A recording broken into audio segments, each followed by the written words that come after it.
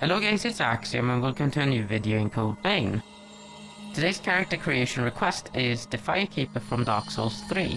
As a small note, we've had the Christmas patch and therefore the character creation layout has changed a little bit. So starting off in Physique, we're going to change the body type to C. Leave the skin color as default. We're going to be using the shoulder length hairstyle today. Change both colors to blonde 1 top left corner.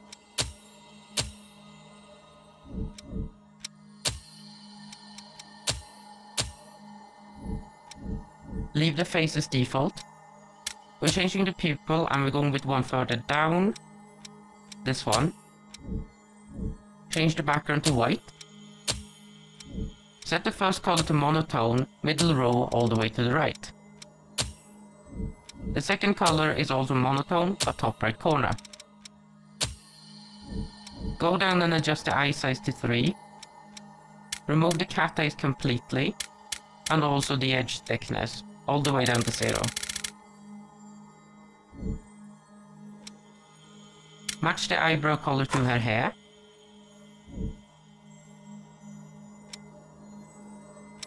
Now we're going down and sorting out the clothing.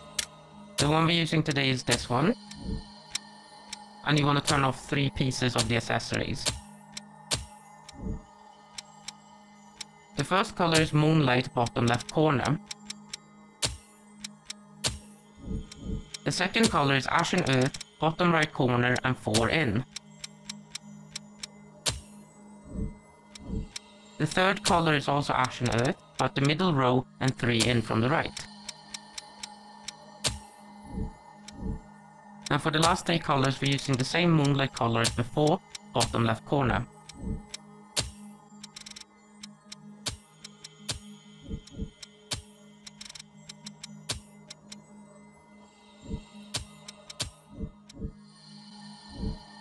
Moving on to the accessories, we're going to give the Firekeeper her plait. And the one we're using is...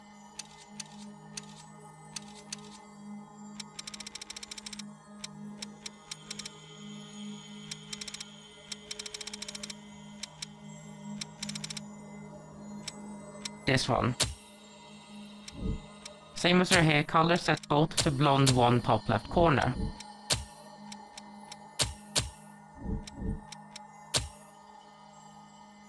Make the plait as big as it can be and move it down.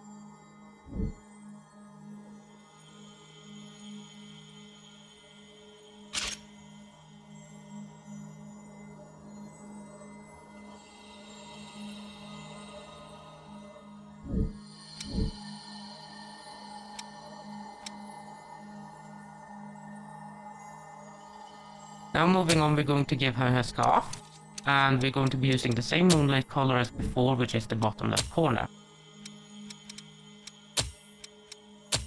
Now we're going to create a blindfold and we're going to do that in four parts. So the first part is obviously the blindfold.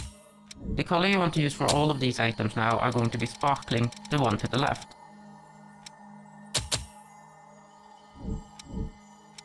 Now you want to make the blindfold slightly smaller so it doesn't clip into the skin and it also doesn't clip into the hair.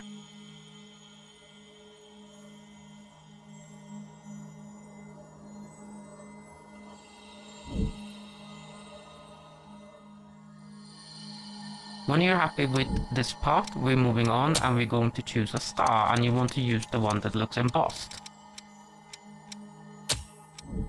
Again, we're using the same sparkling color for this item.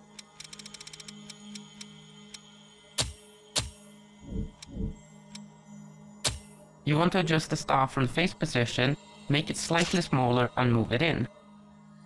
As a small note, don't move the star too far in because we want it to be slightly protruding.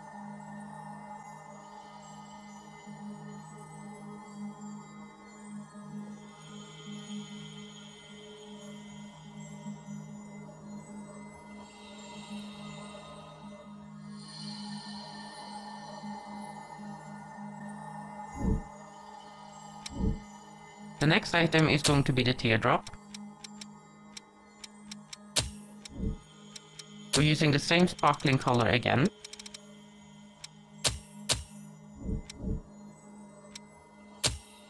Adjust it from the face position and turn it around.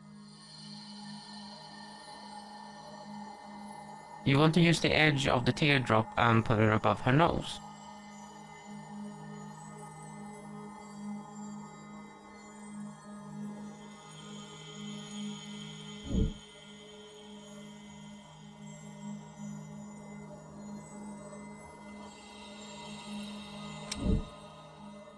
And for the last part of this blindfold, we're going to be using a necklace, and it's going to be this one.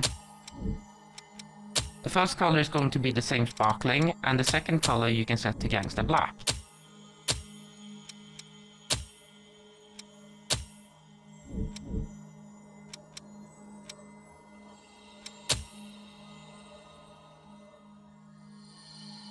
You want to turn it around so that the clip is at the front and when we're moving it backwards it won't be visible.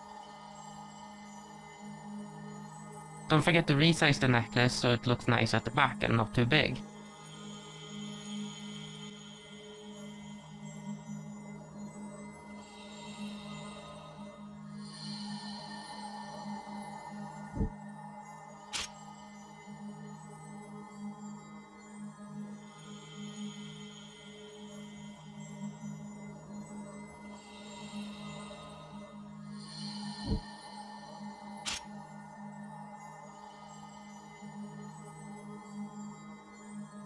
Now for the last two items, you can either use a necklace and you could choose the key because it's one of the items that are closest to what she's wearing in the game, or you can try and replicate her shawl.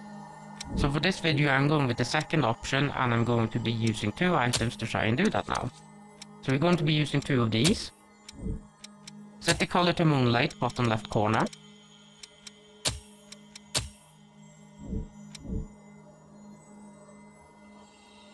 And now we're going to adjust this from the back position.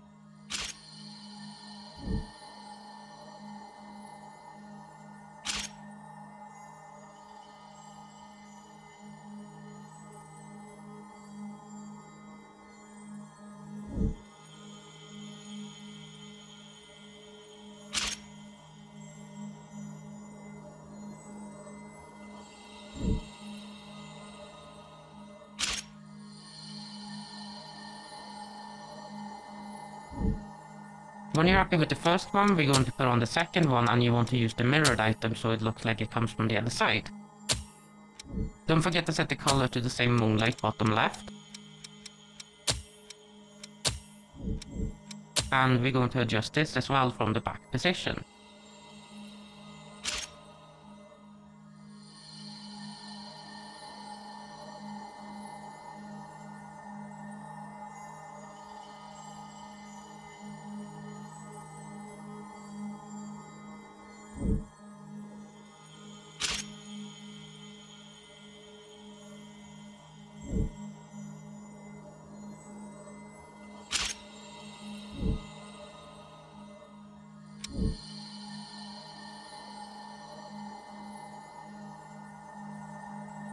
And she's done.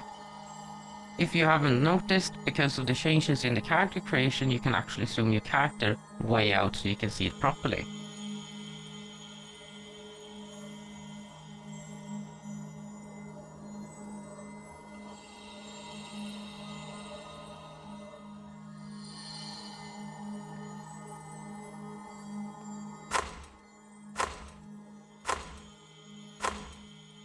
I hope you guys enjoyed this video. If you did, feel free to subscribe and leave a like. And I'll see you in the next one.